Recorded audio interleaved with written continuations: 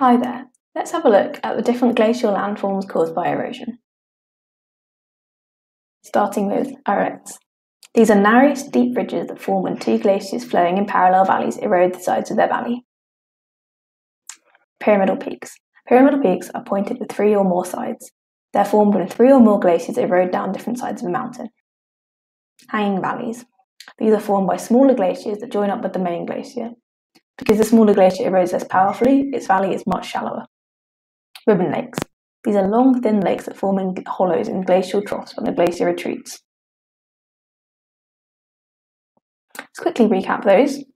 So the different glacial landforms that we've covered so far are pyramidal peaks, hanging valleys, ribbon lakes, and arêtes.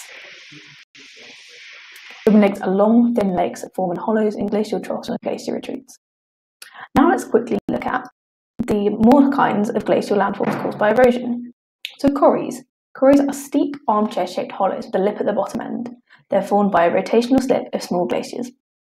Tarns are small circular lakes left behind in corries when glaciers melt. Glacial trough. Valleys with steep sides and flat floors.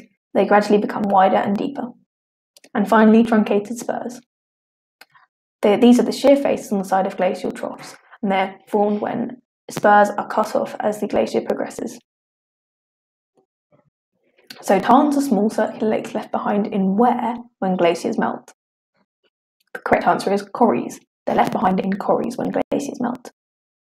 Let's quickly recap some of those different glacial landforms. So a corrie is a steep armchair-shaped hollow with a lip at the bottom end.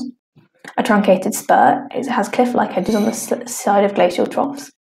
Glacial trough is a steep, steep valley with um, flat valley floors, and tarns are small circular lakes left behind in corries when glaciers melt.